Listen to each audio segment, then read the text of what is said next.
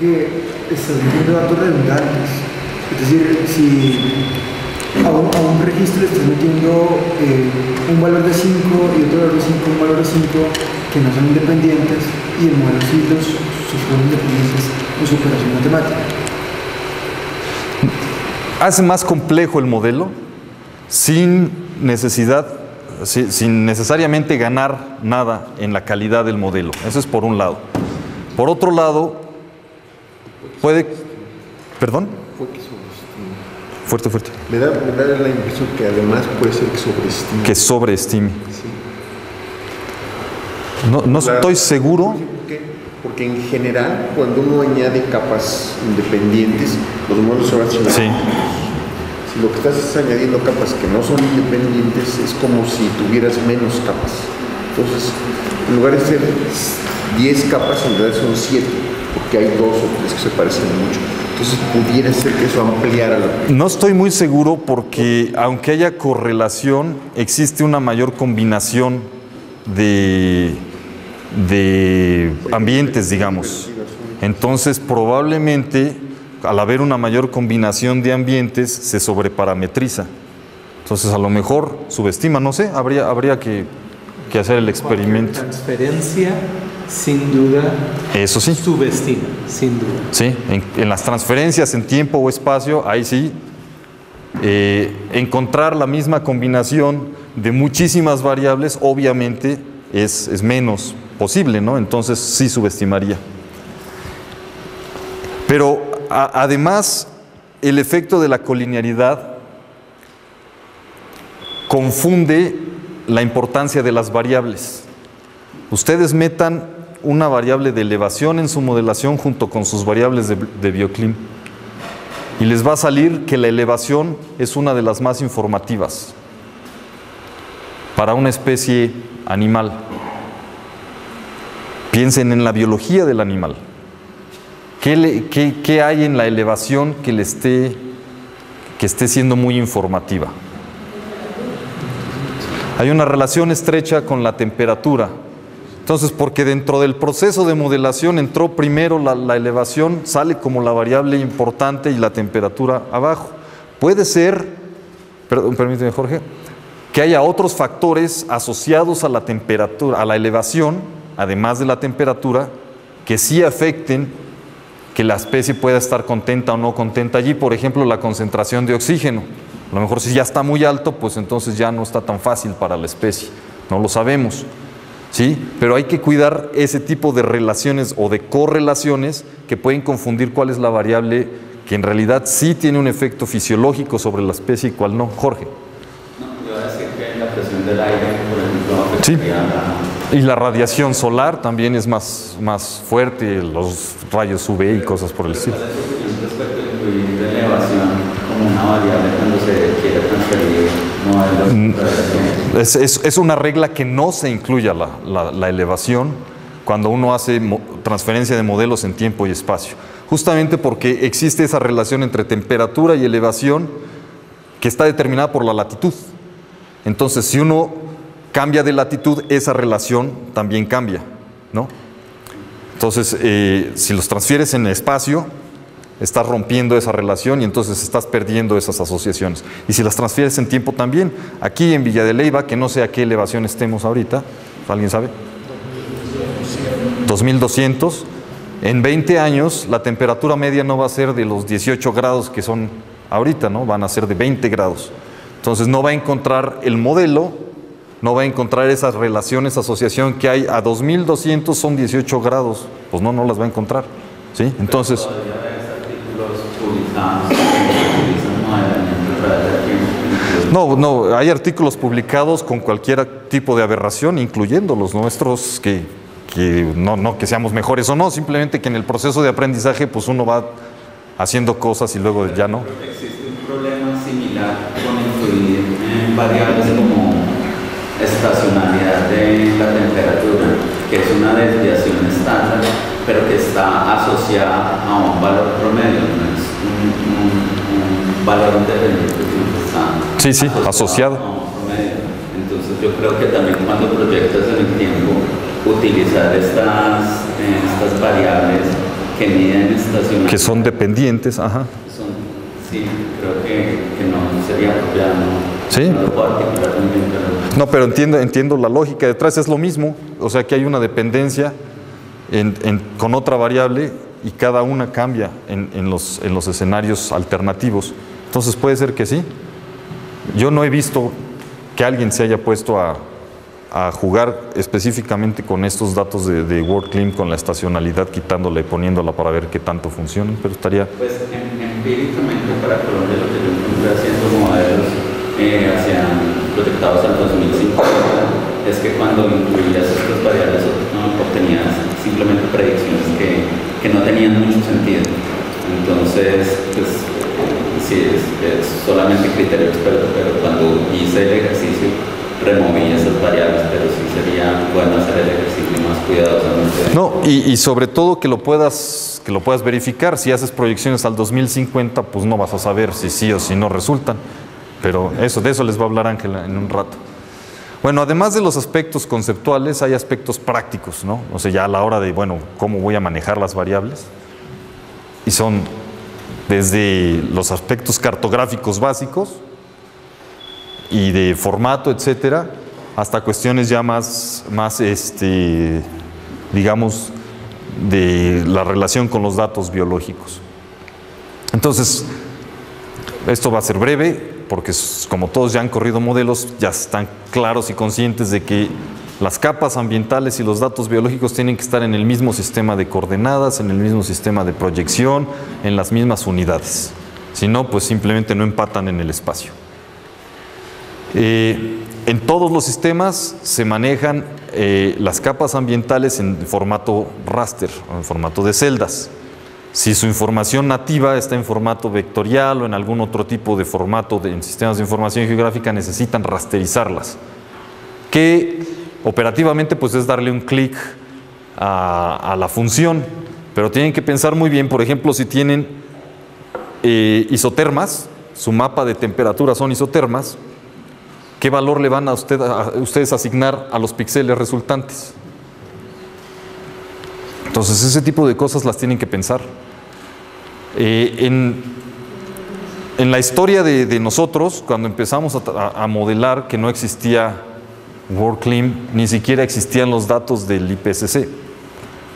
Ya estamos hablando del Holoceno temprano.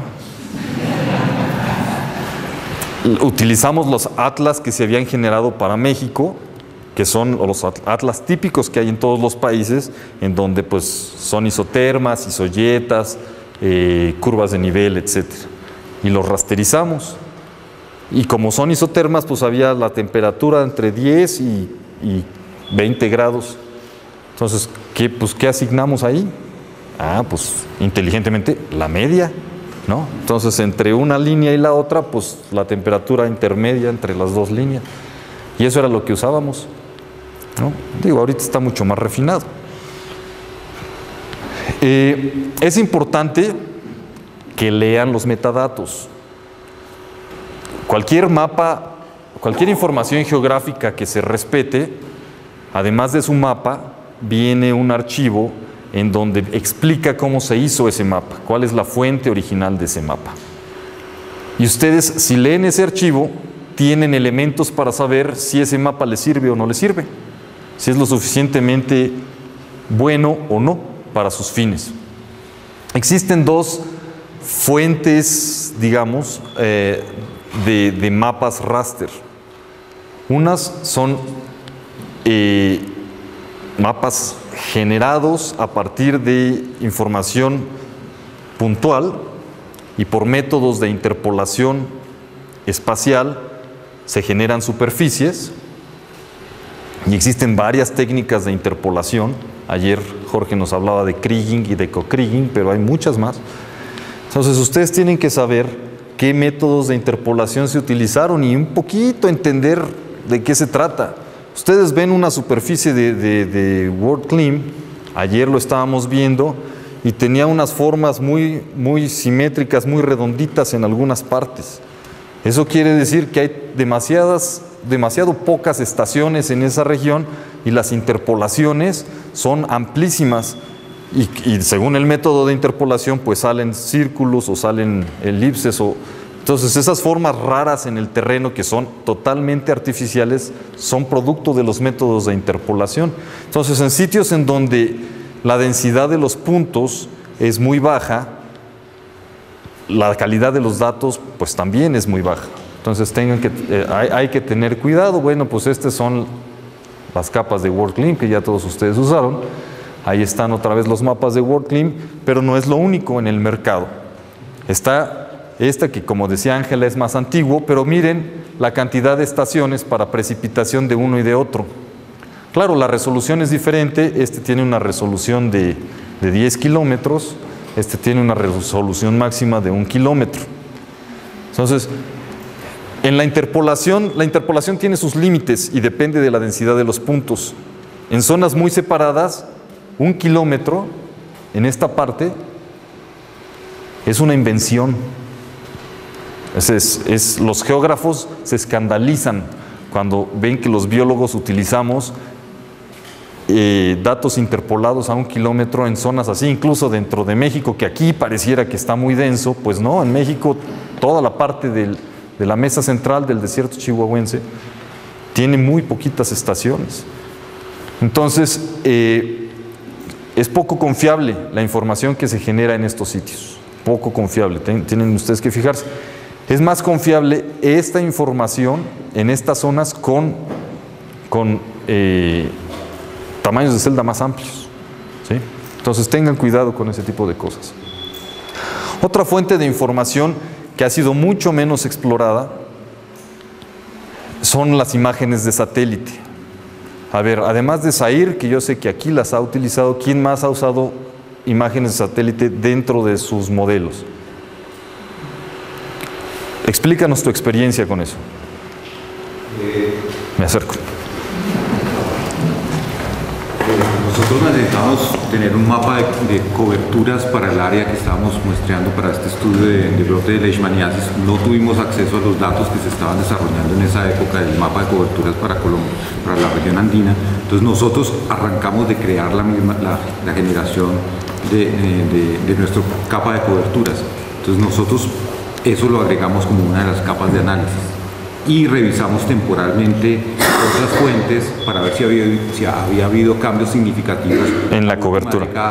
de cambios de cobertura que pudieran explicar ese brote. Es decir, tú usaste las imágenes de satélite para derivar clases de, de- de vegetación. Ok, entonces tú usaste información que es na- nativamente cuantitativa, que es la información de reflectancia que traen las imágenes de satélite, para generar una capa que es nominal, cualitativa, ¿cierto? Tú, Cristian, ¿qué, qué hiciste? Yo usé capas de MODIS de un índice de vegetación Ajá. eh, para la, la parte de la costa peruana, el norte de Perú y el sur de Ecuador. Porque ahí, esos son, es, es un área muy desértico, pero la vegetación está concentrada como en esos valles eh, de los ríos que bajan. Ah, ok. Entonces, usando solamente datos de clima, puede que, que llueve en una, en un área bastante grande en la época de lluvias, pero la vegetación se concentra en ciertas áreas. De pronto por la, no sé, el, tipo de suelo, por ejemplo. Entonces, eso yo pensaba que, que me iba a, a mejorar el modelo, eh, enfocando los, pues, donde yo, mirando por dónde a ver, ¿cómo explico? Las, pues lo- los puntos de registro que tenía vienen de, de los sitios vegetales, básicamente. ¿Y tú qué estabas modelando? Aves de, de bosque seco. Ok, entonces fíjense la diferencia en el uso de, la, de fuente de información similar. Eh, ¿Clasificaste tus imágenes de satélite o solamente usaste el índice de vegetación? Entonces, eh, en el caso, ¿tu nombre? Carlos. En el caso de Carlos, derivó información eh, de vegetación, de tipos de vegetación, que es información eh, categórica, como ya vimos. Y en el caso de Cristian, utilizó datos del índice de vegetación, que vamos a ver un poco de qué se trata. Sí, ¿tienes pregunta? ¿No? ¿Todos saben qué es una imagen de satélite? Porque a veces uno eh, supone eso, pero en realidad eh, uno debe de preguntarlo primero. Saben que una imagen de satélite no es una foto. O sea que hay una diferencia entre una foto, aunque se parezcan, ustedes las vean y digan, ah, pues esto es una foto. La información contenida es diferente, ¿sí, ¿Sí entienden o, quieren ver un poquito de cómo se genera? Bueno, rápido lo hacemos. Eh, los sensores que capturan la información de la luz, que están montados muchos de ellos en satélites, pero no todos, algunos están en, en aviones, algunos están en la mano, lo que hacen es que recuperan la luz reflejada por la superficie de la Tierra, en este caso, si están en los satélites. ¿sí? Y eh, los sensores están calibrados para recuperar la luz, que es energía electromagnética, en diferentes partes del espectro. Nosotros, este es todo el espectro electromagnético que viene desde los rayos gamma eh, hasta las ondas de radio. Nosotros vemos una porción muy pequeña de luz. O sea, lo que nosotros alcanzamos a ver es una porción muy pequeña del espectro electromagnético, lo que le llamamos el visible. Juntito está el infrarrojo, hacia las longitudes eh, de onda largas y, y hacia las cortas el ultravioleta. Lo que hacen las imágenes de satélite, o los sensores, es que eh, capturan la luz en pequeñas banditas de todo este espectro y se salen del espectro visible. Esa es, una de las enormes ventajas. Entonces, eh, hay pues desde rayos X, si lo quieren ver en, su- en sus radiografías, eh, pero digamos que para los sensores más comunes, para cuestiones de recursos naturales, desde el ultravioleta hasta los infrarrojos, hay de microondas, hay, de, hay, de, hay radares de ondas de radio. Pero la ventaja de que recuperen la información en ciertas bandas específicas es que se pueden ver cosas que el ojo humano no ve, pueden detectar información que el ojo humano no ve. Por ejemplo, nosotros vemos la vegetación verde porque lo que sucede es que de la luz que, que llega y rebota y nosotros vemos lo que rebota, lo que refleja, nuestra ventana de visión, que es en el visible, que va, de, que va del, eh, del azul al, al rojo, lo que más brilla es el verde y por eso vemos a la vegetación verde. Pero si nosotros hacemos un análisis de la firma espectral de la vegetación, vemos que el verde está acá y por eso es esta jorobita, pero el infrarrojo está acá. Entonces la vegetación no es verde, la vegetación es infrarroja, pero no tenemos vista infrarroja. Para algunos insectos que sí tienen vista infrarroja, entonces les brilla la luz en, este, en esta parte del espectro. Ustedes si ven estas hojas de lechuga en diferentes bandas, ustedes pueden ver eh, que en el infrarrojo la vegetación verde brilla, se ve muy brillante, y lo que tiene más agua es absorbido, entonces se ve negro. Entonces, bueno, esa fue su clase de percepción remota. La idea es que en diferentes partes del espectro electromagnético resaltan ciertas características de la superficie de la Tierra y se aprovechan esas cualidades.